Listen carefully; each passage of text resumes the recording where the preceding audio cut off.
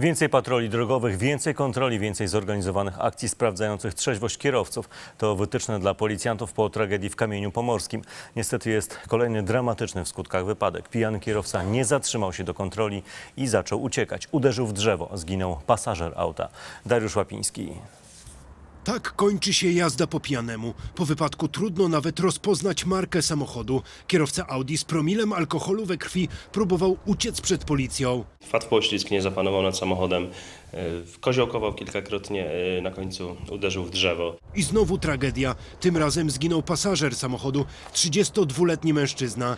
23-letniemu kierowcy i jego 19-letniemu bratu, obu pijanym, nic poważnego się nie stało. Uraz kręgosłupa, y, otarcia, y, zasinienia skóry, y, tak ogólnie mówiąc, jeden i drugi. Do wypadku doszło około pierwszej w nocy w pobliżu Konina. Być może nie doszłoby do tragedii, gdyby kierowca zatrzymał się na wezwanie policji. Patrol policyjny w poprzek drogi ustawił radiowóz i próbował zablokować przejazd y, temu kierowcy. On jednak przyhamował, droga była na tyle szeroka, że ominął tę blokadę i dalej uciekał.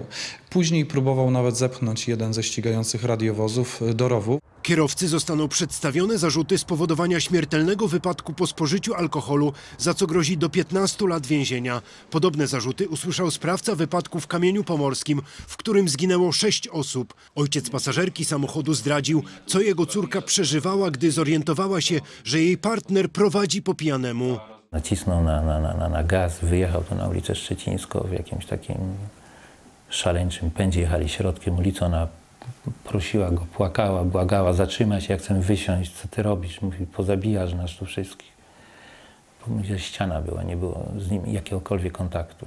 Co zrobić, żeby do podobnych wypadków dochodziło jak najrzadziej? Już wiadomo, że będzie więcej policyjnych kontroli. Komendant główny policji zdecydował o zwiększeniu liczby policjantów z drogówki. My zdajemy sobie sprawę z tego, że na drogach cały czas toczy się wojna i w ciągu roku, jeżeli ginie na polskich drogach ponad 3000 osób, to my musimy zrobić wszystko, żeby tych ofiar śmiertelnych, a także osób rannych było jak najmniej. W każdej komendzie od tego roku policjanci z drogówki mają stanowić co najmniej jedną dziesiątą garnizonu. Mają być odciążeni od spraw biurowych, a pracować głównie na ulicach.